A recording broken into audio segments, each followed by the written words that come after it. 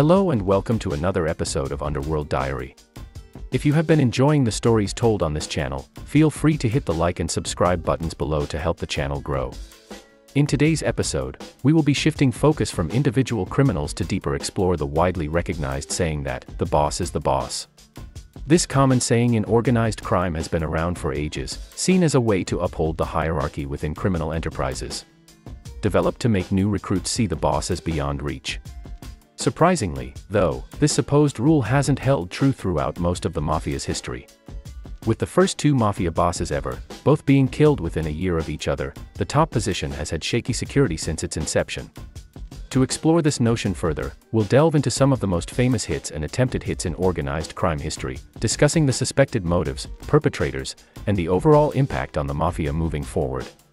Before we get into that, it is important to mention that many of these hits remain unsolved to this day, meaning some degree of speculation has been used to tell these stories.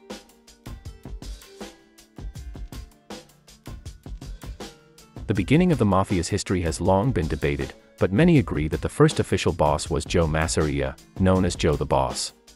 Masseria came to the United States in 1902 and quickly got involved in criminal activities in New York. Masseria started out with the Morello gang, eventually taking over the gang after the murder of the boss, Salvatore D'Aquila. Under Masseria's leadership, the gang expanded its influence, bringing other Italian-American gangs under its control or collecting payments from them. Masseria's crew would include significant future mafia heavyweights like Lucky Luciano and Vito Genovese. Despite his growing power, Masseria had rivals in the area.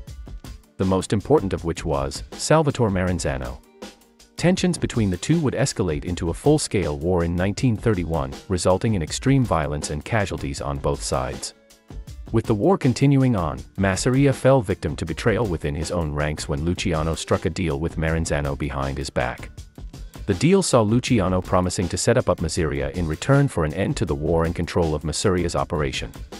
On April 15, 1931, during a meeting at a restaurant in Coney Island, Masseria was shot dead by gunmen, allegedly including Albert Anastasia, Vito Genovese, Joe Adonis, Benjamin Siegel, and Ciro Terranova.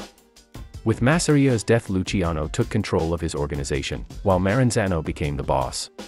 However the two had an uneasy relationship with each other, neither fully trusting the other. With the distrust growing, Luciano would develop yet another plot to get rid of the boss. This would come in the same year, when Luciano got word that Maranzano wanted to take him out. Hearing this Luciano decided to act first. Doing this on September 10, 1931, Luciano decided to skip out in a meeting with Maranzano, instead sending four men disguised as police officers to his office. The men would first search Maranzano for any weapons before stabbing and shooting the new boss. Being allegedly responsible for the murder of two bosses in the span of a few months Luciano seized control of the entire mafia. He would then use this power to establish the now infamous commission and organizing the five families in New York, shaping the future of the mafia.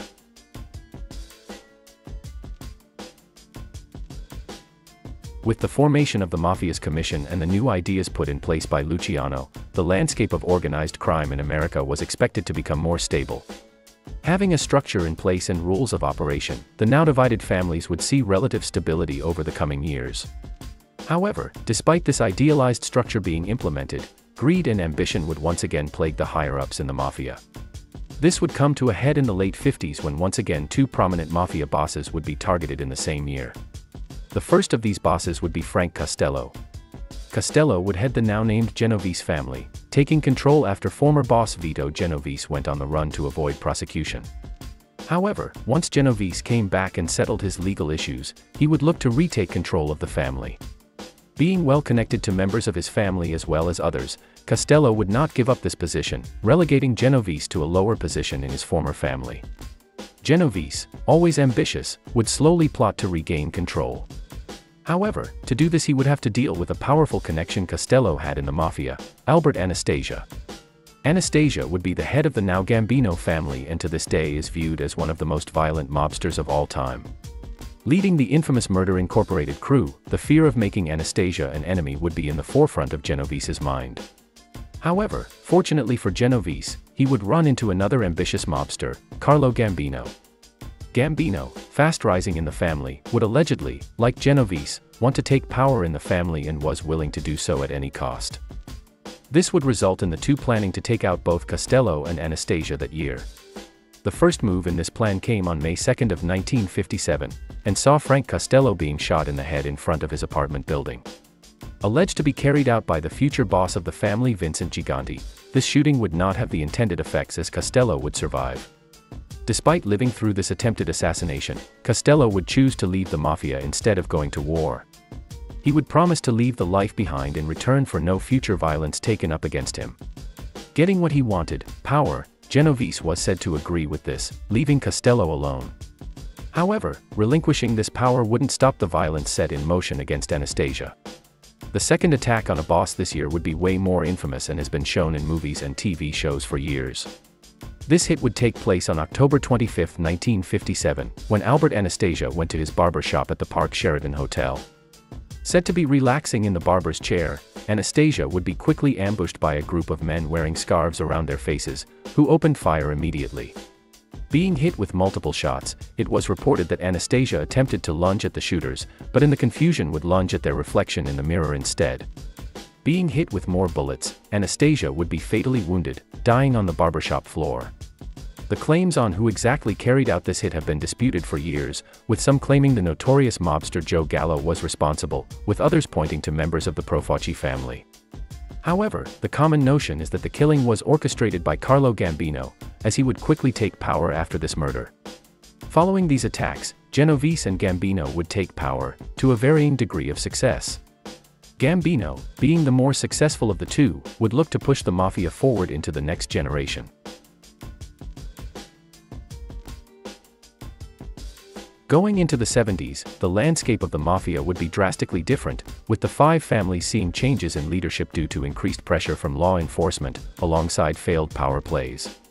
One family that would be somewhat stable going into the 70s was the Colombo family.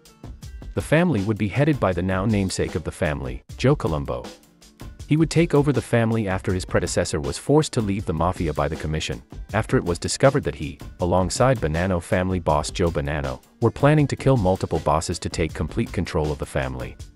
Colombo has been alleged to be the one who blew up this plan, going to the commission and telling them about the plot. For his loyalty to the commission, he would be given the position of boss and would hold power for the following years. At first, he would be seen as a relatively low-key and powerful boss, adding needed stability to the family.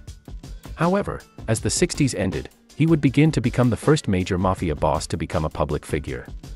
He would create the Italian American Civil Rights League, where he would be seen giving speeches, attending protests, and organizing rallies to promote rights for Italian Americans. This league would grow rapidly in membership and publicity in the early 70s, with the notion of a mafia boss being a civil rights activist catching media attention. The growing publicity was said to anger other bosses in the mafia, with them allegedly telling Colombo to stop. Refusing this, Colombo would continue to grow the league. However, this would not be the only problem that Colombo would have from powerful members of the mafia, as in 1971, Joe, Crazy Joe Gallo would come out of prison. Gallo would be imprisoned while he was at war with the former leadership of the Colombo family. Coming out of prison, Colombo would meet with Gallo to ensure no more violence between Gallo and the family. However, this meeting would not go as attended as Gallo was said to leave infuriated after Colombo offered him only $1,000 for his time in jail and to continue peace. Following this conversation, Colombo would continue with operations and would attend his Italian Unity Day rally. At this rally, Colombo was shot three times on his way to give a speech. He was shot by a man named Jerome Johnson, who was immediately killed by Colombo's bodyguards after the shooting. After being shot, Colombo would be paralyzed and would be hospitalized for the rest of his life until 1978, when he died of cardiac arrest. Despite the police concluding that this murder was carried out by a lone gunman, many would believe that it was planned by Joe Gallo.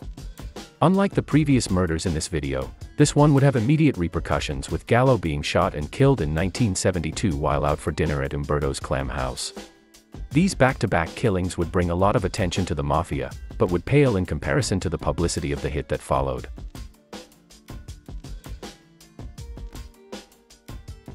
Continuing into the proclaimed golden age of the mafia, a hit would take place in the 1980s that would draw global media attention and still has a resounding impact on the mafia to this day. This, of course, is the infamous Paul Castellano hit. A public hit that has been extensively covered in many different forms of media is important to include, as it, to this day, is still one of the most impactful mafia murders of all time. With the names involved in this hit becoming household names, this moment is what most point to as the start of the decline of the mafia. The tension that led to this hit began in 1976 when Paul Castellano was given the boss position following the death of longtime boss Carlo Gambino. Upon his ascension to the top, a divide in the family would already start to be seen. This came as many believed that longtime underboss and Cosa Nostra loyalist, Neil Dellacroce should have been given the position. Despite being looked over, Dellacroce would accept that Castellano was in charge, being caught on wiretap infamously saying, the boss is the boss. Even with Dellacroce's acceptance, many in the family would still harbor resentment over this decision. However, with Dellacroce's support, the family would be able to stay intact under the leadership of Castellano. Running the family over the next few years, Castellano was said to further the divide in the family, as many believed he was too business-oriented and tried to separate himself from the street. Buying a massive house in the Staten Island, Castellano would make associates drive out of the city to meet with him. This would upset many, but most importantly would upset street-tough gangster John Gotti. Gotti and his crew, known for speaking their minds, would be vocal of their discontent. Dellacroce would act as a sort of mentor for Gotti and would attempt to silence the discontent, attempting to get Gotti to accept Castellano as boss. However, a breaking point would come when members of John Gotti's crew were caught on wiretap talking badly about the boss and about a heroin trafficking operation. Castellano, said to be against drug trafficking, would ask for the tapes to decide a punishment for the crew. The crew would refuse this claim, causing tension on the boss's side towards them. Now with anger on both sides, the only person keeping the family together was Dellacroce. However, he would soon pass away, leading to Gotti making a massive power play. Following the passing of his mentor, Gotti would allegedly turn to Frankie DeCicco and Sammy Gravano to develop a plan to take out the boss. With the support of major players within the family, a plan would be devised to take out the boss in December of 1985. On December 16th of this year, the plan would take place. According to testimony from Sammy Gravano, men in the hit squad would wait outside the entrance of Castellano's favorite restaurant Sparks Steakhouse. Coming here for a meeting, Castellano would pull up outside the restaurant alongside his driver and bodyguard Tommy Bilotti. Gotti and Gravano were said to be watching from a parked car for Castellano's arrival, with Gotti said to give the go-ahead on the hit from a walkie-talkie. Upon getting the go-ahead, the hit squad would open fire on Castellano and Bilotti as they stepped outside of the car. Castellano would be hit with six shots, dying instantly. The team responsible for the shooting has been alleged to be Salvatore Scala, Edward Lynn, and John Carneglia, with Carneglia being the one alleged to have fatally shot Castellano. Following this hit, the Mafia would become massively publicized throughout America, with coverage of this killing being on TV and newspapers throughout the country. Following his plan, Gotti would come into power after the killing, resulting in the infamous Gotti era of the Mafia. Following this publicized killing, the Mafia in New York had years of fallout and violence before settling to where they are today. Despite this relatively lower profile, major murders and organized crime still are prevalent to this day. These crimes illustrate that despite what rules may be set out when it comes to the criminal underworld, they will only ever be selectively enforced and followed or broken to benefit those vying for power. Thank you for watching another episode of Underworld Diary. If you enjoy the stories told on the channel, feel free to hit the like and subscribe button to help the channel grow. If there are any topics you would like to see covered in future videos, feel free to leave a comment down below, if not, I will see you next time with another story from the underworld.